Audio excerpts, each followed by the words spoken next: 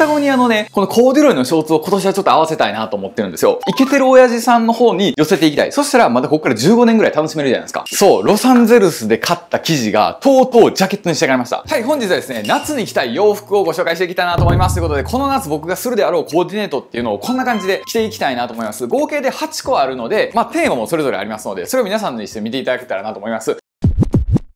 まず一つ目っていうのはこちらですね。白 T に、ま、デニム。しかも薄いデニムっていう感じで、アイテムの詳細はこっちに出てるかなと思うんですけど、まあ、白 T に薄いデニムで、まあ、スニーカーはもうあえてコンバースの赤。で、これ一応ね、チャックテーラーの中でも、その現地の向こうのチャックテーラーも何種類かあるらしいんですよ。で、それで僕カリフォルニアで買ったこのチャックテーラーなんですけど、まあ、あえて赤のシューズにしてみたっていうことで、まあ、これテーマとしては王道じゃないですか。王道スタイルなんで、一番万能かなと。で、パンツに関しては僕ちょっとこれ加工して、えっ、と、色をあえて薄くしたりとかしてて、でそこで色落ちをさせててもらったっていう感じのパンツなんですけど、まあ、夏場になったらこういう薄いのでやるっていうのはいいじゃないですか。だからまあ一応これは王道スタイルっていう感じで一回組みました。で、次二つ目っていうのが、えちょっとバカンススタイルに移りたいなと思います。で、バカンススタイルがどんな感じかっていうと、はい、次はこんな感じでバカンススタイルにしてみました。これどんな感じ？ちょっとわからへんけど、僕結構よくする格好なんですよ。で、上が以前ロフトマンさんで購入させてもらった日本のカットソーのブランドなんで、ちょっと名前忘れたんですけど、ここ出てると思います。で、それになかなか手に入らへんあのファミリーマートのショーツね、絶対買ってくださいって言ってみんな買いに行ったっていうあの噂のショーツ。で、まあ足元はもうサンダルでいいじゃないですか。B さんとかで行けるって感じで、まあ、バカンスの日中、夜とか夕方ちょっとまたか、あの、後であるんですよ。それ一回置いといて、日中とかやったら、家族旅行とかやったら、まあ、こんな感じじゃないですか。で、まあ、子供と一緒に手繋いでいく、みたいな。で、やっぱ30超えてくると、袖出すのちょっとね、躊躇するんですよ。おじさん袖出すのいたないかなと思うんやけど、格闘家のね、マサトさんとかも結構よく腕出してはるんですよ。まあ、ただ、ああいう人ってやっぱ鍛えてはるから、この骨格っていうか、こう、モリモリってなってるのがやっぱかっこいい男っぽいなと思うので、まあ、多少そういうトレーニングとかはしないといけないんですけど、まあ、それしとけば、あのパパなんかめっちゃスタイル良くないってなるじゃないですか。だからこれ一応バカンススタイルということで、僕これ結構するので、普段もう日中その辺とかチャリンコ乗ってる姿よく見られますけど、これが一応家族旅行をテーマに今作ってみました。で、次3つ目っていうのが何かっていうと、海スタイルに変えたいなと思うんです。はい、次はこんな感じで海スタイルということになりましたね。ちょっと落ち着いた感じで、新作のパタゴニアのね、このコーデュロイのショーツを今年はちょっと合わせたいなと思ってるんですよ。まあ、この時タンクトップでもいいんやけど、あっからさますぎるなと思ったから、これとかやったら、この海向かってる最中、ドライブしながら、ちょっとコンビニとかで、あ、ちょっとアイス買おうかってなって、この格好でもいけるじゃないですか。でもタンクトップでこれ行くと、コンビニ寄ったら、完全あいつ海行くなっていう感じになるでしょ。で、まあ一応足元はね、僕の大好きなレインボーサンダル。海といえばとにかくこれ。もうこのレインボーサンダルの茶色と、ちょっと日焼けして、で、足元がこのパタゴニアのショーツ、めちゃくちゃ相性いいんですよ。もうこれ合うやんっていう感じで、パンツもオレンジ、で、まあ汚いサンダルも茶色、サングラスもまあブラウン系ではやってみたんですけど、ちょっとショーツに、えっ、ー、と、コーデュロイの生地をあえて合わせてるっていうところもね、いいんじゃないかなと思います。だからこれはどうしてもね、この夏履いてみたいなと思ってるので、履いた上で、やっぱり暑いわとか、結局やっぱりこの生地の分厚さいらんねんなってなるかもしれんし、ちょっとその辺はわからないんですけど、まあ一回やってみようと。で、やっぱりトップスに関しては着心地いいやつっていうか、硬いのが僕も年とともに着れなくなってきてるので、若い時は見た目さえ良ければよかったんですけど、やっぱり30超え出してから、生地の硬いのがやっぱ疲れるようになったんで、やっぱ柔らかいやつがいいっていう感じになってます。で、これ一応海コーデっていうことなんですけど、名前を変えると、これパパコーデですね。海以外にも、これとかやったら、チャリンコ乗りながら、あの、近くの市民プール行ったりする。後ろに子供乗せて、前にも子供乗せて、チャリンコ乗ってる人ってよく僕の近くでは多いんですよ。そういう感じでいけたら、なんかちょっといいかなっていうことで、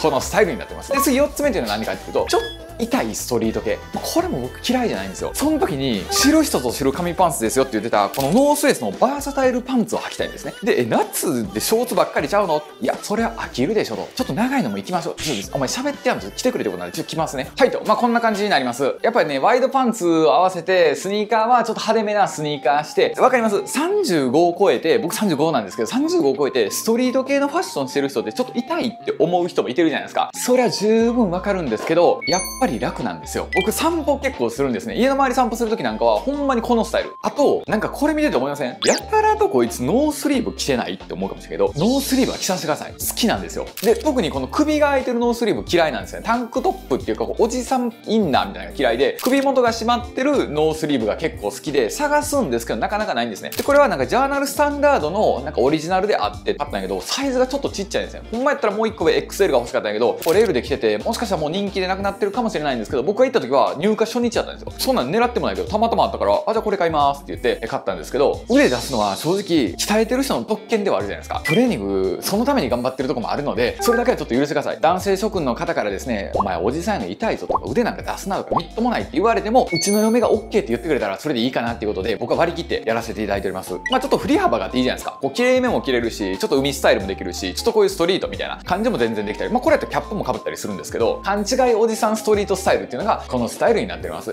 で、次のスタイルっていうのが、もうちょっと大人っぽくいきたい。サファリっていう雑誌のバカンスを思い出する。夕暮れに日が落ちていって、そこでバケーションとしてイケてる男たちが遊んでるっていうシチュエーションを僕はイメージしたんで、イケおじスタイルっていうのをね、次見てもらいたいなと思います。それに関しては、以前ユニクロで絶対これ買ってくださいって言ったリネンシャツ、これをベースに作っていきたいなと思うんですけど、ほんま値段的に言うと1万いきません。上下合わせて1万いかへんぐらいのスタイルなんやけど、絶対これイケおじになるかなってまだ来てないんですけど、思ってるので、ちょっと行きたいなと思います。はい、とまあこんな感じになっております。上はユニクロのそのリネンのシャツなんですけど、これね、誰かもコメントで書いたけども、相当コスパいいんですよ。てかこれ3000円とかでありえへんのですよね。普通に考えたら5倍ぐらいして全然おかしくない。1万後半とかして全然妥当やなっていうぐらいの生地感とか、その作りなんですけど、これが この値段で出せるっていう、そのユニクロでもやっぱりこれは原価相当かかってるなっていうのと、これだいぶぼったくってるよねっていう商品がやっぱ分かれるんですよ。まああの、スシローと一緒。スシローもマグロってめっちゃ原価高いけども、卵ってめっちゃ原価安いじゃないですか。それと一緒で、これはもう間違いなくその1点に入るんちゃうかなと思います。で、これが3000円ぐらいでしょ。で、パンツに関しては、これワークマンのパンツなんで1500円ぐらい。で、水陸両用のやつ。で、靴もなんか僕楽天かなんかで買ったやつなんで、そんな高ない1万円もいかんかった7000円ぐらいって感じなんで、全部合わせたとしても1万5000円以内なんですね。これで5000円ぐらいやから、で、靴入れても1万2000円ぐらいか。まあそんなもんやと思うんですよ。で、まあこの靴をもうちょっと安いやつにすれば、リカバリーサンダルとかにすれば、これですよね、ヌーソルとかにしてしまうと、まあちょっとラフ感は出ちゃうけども、これやったらほぼほぼ1万円ぐらいちゃう。ぴったり1万円ぐらいかもしれんけど、まあそれぐらいの値段で買えちゃうので、めっちゃ安そうには見えへんじゃないですか。めっちゃチャッチー服着てますねって言われるような感じにはないから、まあほんまに普通に見たら数万してても全然おかしくないよねっていうような感じなんやけども、まあお得な感じがするっていうような感じなんで、まあ一応生きおじスタイル。で、僕ももう35になって何回も35、35って言うんやけども、もう若さとか無理なんですよ。もうそれやったらギアガって書いてね、イケてる親父さんの方に寄せていきたい。そしたらまたここから15年ぐらい楽しめるじゃないですか。まあ、イケおじの方にちょっとシフトしたいなっっていうことで、さっき最近ちょっと非教授教授って言ってますけども、そっちを目指しております。っていうのがまあこんな感じ。このままディナー行くっていうのもいけるし、ビーチ沿いを一緒に奥さんとこうやって歩くっていうのも全然できる。で、ビーチ一緒に歩いて、そのまま最後レストラン行って帰るみたいな。で、ドライブして帰ってくるみたいなスタイルもできる。ただそうなった場合、このサンダルじゃ運転できんから、やっぱこのかかとのあるサンダルにしないといけないと思うんですけど、運転はね。まあハワイなんて言ったらいいですね。ハワイの海のビーチ沈んでいくとこで、海岸線沿いを奥さんと一緒に歩いて、そのままレストランに行くと。で、英語でオーダーなんてして、excuse me って言って、I like water とか言ってね、英語ちょっと喋って、で、なんとかなんとか OK とか言いながらやっていくっていうのがちょっと僕の憧れでかっこいいなと思ってます。で、次っていうのが、不倫スタイル、もしくはマッチングアプリスタイルっていうのも、えー、ご用意させておりますので、そのスタイルに着替えたいなと思います。はい、まあこんな感じになっております。まあ半袖のニットに関しても、まあ自分で作ったやつですし、パンツもそうなんですけど、自分で作ったやつを不倫スタイルとかマッチングアプリスタイルって言ってるんですけど、まあ、これなんでなんかっていうと、前半に紹介したのって結構ゆったりしたやつ多かったですかあれって結構男性受けいいんですよね。だから、ノースリーブとかでもそうですし、ゆったりしたパンツとかも結構男受け良くて、それどこで買ったんとかって結構聞かれるけども、やっぱ女性受けあんま良くないので、特に奥さんとかってそういうのあんまり嫌がるので、デート行くとか、まあ奥さんとばっかりデート行ってるっていうコーデばっかりと思んないから、ちょっとここでスパイス入れようってことで不倫っていうのを入れてみたんですけど、箱根不倫旅行とかやったらこういう感じ。で、やっぱ男性ってこの二の腕のところのニットの袖がいかにこう締まってるかって大事じゃないですか。ここがこうブヨブヨやったらオーバーサイズと変わらへんし、で逆にパツパツすぎるとこうやってキュッて上がってきたりするから、それはそれで変なんで、ここのね、周囲を何回もやり直したんですよ。で、ここが一番いい感じになるように、あんまりこのダボダボすぎず、ピチピチすぎずみたいなのを作ってるので、ここの写真にもあるんですけど、例えばこういうグレーのパンツにネイビーとか合わせるスタイルも僕結構色味的にはこれ好きなんですよね。でそれ以外で言うと、一番個人的に気に入ってるのは、薄いグレーにプロパンで気に入ってて、で、足元はもうずっと言い続けてるけども、このエコのスニーカーで、これ僕結構手入れもするし、もう3年ぐらい履いてるのにめっちゃ綺麗なんですよ。なんでって言われたら、紐変えてるんですよ。紐を1年に1回は変えてて、それすることによって、また新品みたいな感じで戻ってくるので、やっぱこういうレーザー系ってそういうのがね、長く綺麗に使えるのでいいなっていうことで、まあ僕は結構使ってるんですけど、これであの箱根か振りに行ってもらったらいいし、関西の人やったら有馬温泉ぐらいに振りに行ってもらったらいいし、あと九州の人やったら別府温泉ぐらいにあの振りに行ってもらえたらいいんちゃうかなっていうことで、不倫温泉スタイルっていうことでご提案させていただきました。で、最後7点目いきたいんですけど、その前にね、よく聞かれるんですけど、ワークアウト、僕、まあ、筋トレしてるんで、その時のスタイルどんな感じなんですかって聞かれること多くて、インスタグラムでも出してるんですけど、まあ、実際着替えるとこんな感じで、まあ、こんな感じのスタイルで、あの、まあ、トレーニングの時もタンクトップが好きなんですよ。あの、ノースリーブが好きで、この LACV っていうところがよくノースリーブ多いんですよね。だから、まあ、これを基本買うことが多くて、一応これリフレクターなっててね、反射で光るんですけど、まあ、夜ランニングしたりすることないから僕あんまいらんじゃいらないんですけど、まあ、こういう感じですね。で、パンツに関しては、パンツはね、僕、紳士ショーツっていうの出してるんですけど、それなんですけど、ファッション用にも出してるんだけど、37.5度にキープするっていう生地を使ってるんですよ。もちろん、プライベートでも履けるけど、こういうワークアウトとかでも全然いけるんですね。ランニングとかでもいけるから、ストレッチも効いてるし、洗濯もすぐできるっていうとこもあるし、あと靴下に関しては、えっと、スラムダンクの靴下履いてます。スラムダンクの映画の靴下があるんですよ。それ履いて、俺は桜木花道なんだと思いながら、ダブダブダブダブダブってドリブルしてる、あの、基礎練習からやらなあかんと思いながら基礎のトレーニングして、で、靴に関しては、やっぱり日本の誇り、あのダンクと日本人が初めてコラボしたっていう、堀米さんのね、東京オリンピックでスケートの金メダル取った男性の方いてると思うんですけど、その方のスニーカーを履いて、ジャパン代表やって僕は思いながらやってます。ちなみにこのグレーの部分っていうのが、その堀米選手が公園の、あの、スケートボードの練習してた日本の公園のコンクリートの部分で、このピンクが、その公園に咲いてる桜をイメージされてて、で、このグリーンのところっていうのがおそらく植物とか、そういうのじゃないかって言われてて、まあ、この2つに関しては桜とかコンクリートって言われてるけど、このグリーンはちょっとよくわからないんですけど、そういうなんか日本らしさが詰まった一足なんで、まあ、これはね、誕生日の時にいただいたんですけど、これを履いて、まあ、モチベーション高めて、今ね、ベンチプレス100キロを目指してやってて、今97.5までで来たんですよ。だからあと残り2.5なんですけど、この2.5がめちゃくちゃ大変。なかなか伸びひんから、もうほんまに最初僕20キロすら上がらんというか震えとったんですよ。20キロって鉄の棒なんですけどね、それすら上がらんかったんやけども、もうずっと2年ぐらいやり続けたら、ようやく100近くまで来たんで、まあ、継続してやりたいなと思ってます。最後7点目っていうのが、僕が考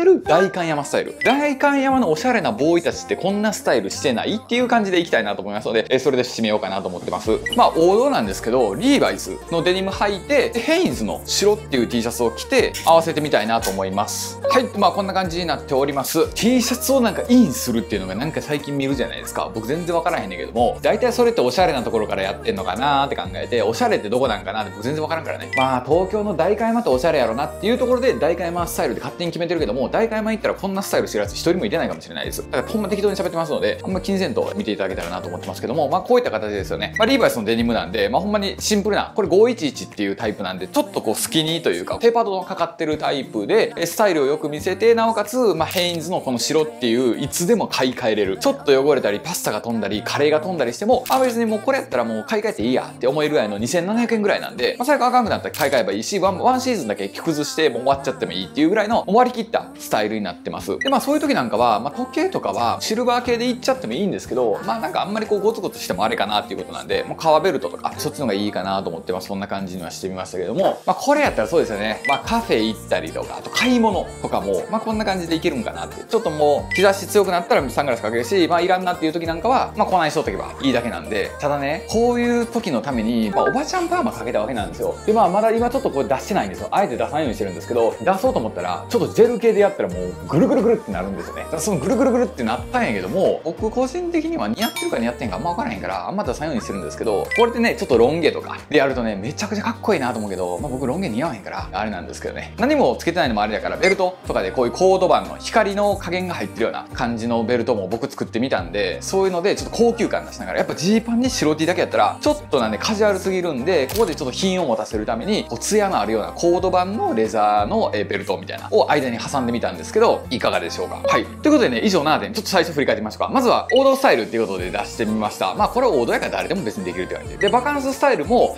まあ、タンクトップにファミリーマートのショートしてるだけやから別に何ってこともないし。で、3つ目っていうのが、海スタイルですよね。白 T に、まあ、パタゴニアのコーデュロイの新作履いてみたかったんで、それ履いてみた。まあ、パパスタイルかなーいう感じで言ってたと思うんですけど、そんな感じ。で、4つ目っていうのが、ノースリーブにバーサタイルパンツを合わせてるんですけど、まあ、これはちょっと勘違いしてるストリート系にはなっちゃうので、あんまみんなには見せたくないけど、まあ、近所散歩するぐらいやったら別にいいかなっていう感じ。5つ目っていうのが、夜のバカンスバージョン。夜とか夕方のバカンス。ビーチ沿いのこの夕日が沈むのとイケオジがこうマッチするような感じでどうかなっていうことでね、5つ目。で、6つ目っていうのが、えー、不倫旅行スタイルですね。温泉旅行スタイルっていうところで、えニットに、えパンツっていうこと。で、途中でジムの、えワークアウトスタイルっていうのもご紹介したんですけど、まあこれご紹介したというか、これは僕いつもやってる格好なんやけども。で、7つ目っていうのがこれになってますね。ほいでね、皆さん気になってたと思います。ずっとここにかかってたジャケット。そう、ロサンゼルスで買った生地が、とうとうジャケットに仕上がりました。で、これプリントじゃないんですよ。よく見てください。折りなんですよね。マリリン・モンローとかもあるけども、しっかりこれ折りで黒の糸と白の糸で折られてるので、何回洗っても薄くなったりしないんですよ。で、それを、なんとこのファスナー見てください。ファスナーの仕掛け見たら分かる人は分かるかな？このタイプで、ファスナーがぐるっと回るんですね。これ何が言いたいか分かりましたね？そう、リバーシブルなんですよ。マリリン・モンローのが片方6000円ぐらいしたっけ表地が 1m6000 円ぐらいしたと思うんですけど、その逆側の生地もイタリアの高級の生地を引っ張ってきました。だから、まあ、針に切るときはこんな感じで着て、地味に切るときなんかは、この、それをそのままピュッてひっくり返したら切れるので、リバーシブルって正直両方で切いひんじゃないですか。だから、ほんまに両方で切れるようにしたいなと思ったんで、まあ、こんな感じでね、えー、仕上げてみました。まあ、これやったら黒のブルゾンになるんですけど、ちょっとここから、えー、生地が見えたり、ちょっと中からこの生地が見えるぐらいで、もう冷めたいっていう時なんかはこれでいいし、全く見せたくないねんっていう時なんかは、こう前を閉めちゃって、まあ、こういう風に着てもらったらもう全くわからないんですけど、これね、7着とかしか作れないんですよ。もう生地がそもそもないから、じゃあなんでお前紹介してんねんって話なんやけども、なんでかっていうと、一昨日届いたばっかりで、めちゃくちゃ嬉しいから。僕が思い通りで描いてた通りに出来上がったから、めっちゃ嬉しいなと思って、ロサンゼルスで買い物してる時、おそらく自分が作ったら、こういう形になるやろなって思った通りにできたんですよ。だから、めちゃくちゃ嬉しい。これはもう服作ってる人やったらわかるんですけど、イメージ通りにガスンってハマった感じ。それが僕にとって非常に嬉しいので、ここでご紹介させていただきたいなと。もう夏のコーデとは全く関係ないんですけど、まあこういった形になっております。高い服着るとか安い服着るとかそんなことよりも、やっぱりそのシーンで着るかって大事じゃないですか。せっかくこうバカンス行ってるのに、ニットとか着ちゃうっていうのはちょっとずれてくる。6番のニットこうやって今こっち着てるけども、これバカンスの時こんな感じじゃないよねってなってくるし、で逆に街中で買い物するって言ってんのに、大阪市内とかね、東京の23区内で買い物するって言ってんのに、2番みたいなタンクトップにファミリーマートのショーツ履いてるこんなスタイルも変じゃないですか。だからその TPO にさえ合わせれてたら、まあそんな変なスタイルってないと思うんですけど、まあ、僕個人的にはこの夏このスタイルしようかなと思ってるのを全部紹介させてもらって、まあこれ以外も多少あるんですけど、ちょっとロゴの入った T シャツとか、えそういうのはロサンゼルスで以前買った T シャツとかがあるので、まあそれを着て、こういうプリント欲しいなっていう時なんかは、そういう T シャツを着てみたりとか、まあそういう感じでしようかなと思ってますので、皆さんもね、俺こういうの着ようと思ってるんとか、いや今年はこのアイテムを必須で使いたいねんっていうのがありましたら、ぜひ教えていただけたら、こっそり買って、いや、この夏これ僕もね、視聴者さんの見て買ったんですよ。めっちゃ良かったんですよねって言うかもしれないんで、ぜひ教えていただければ嬉しいなということで本日ですね、この夏に着た洋服っていうのを紹介させていただきました。また別動画でお会いしましょう。ありがとうございました。